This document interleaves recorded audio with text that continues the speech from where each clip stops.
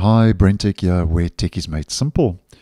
Last week, we took a first look at Edge's new compact AI Quick Assist, which is part of the new AI innovations I've been talking about on the channel. And in Microsoft Edge Canary, as mentioned in the video, which will be linked, there was a new toggle on the Copilot Labs page in settings that enables a compact and resizable flyout for accessing Copilot from the address bar. Now, just to let you know that that Quick Assist has been removed from AI Innovations. And I've spotted this change in Edge Canary on both my Windows devices. Now, if we toggle on Copilot mode,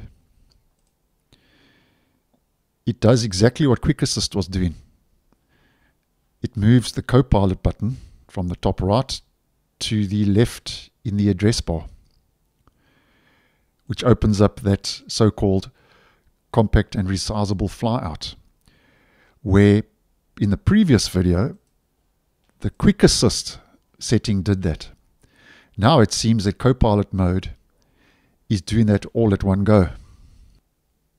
And another thing that I'm very thankful to see now that we've just got one setting in AI innovations called Copilot mode, which now seems to be doing everything as mentioned, is if we toggle that on, previously,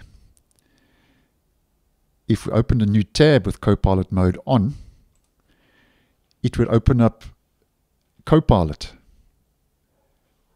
a Copilot page. And that's something I really did not like about Copilot mode. And I see now that that has been removed. Now it's still early days. This is still Edge Canary, an early preview version. But I hope this change remains because having Copilot open when you want to open a new tab page can get very confusing. Although there were settings to turn it on and off, but I still think that this is a much better move. Just simplifying things and keeping it simple. And I hope that this change is here to stay.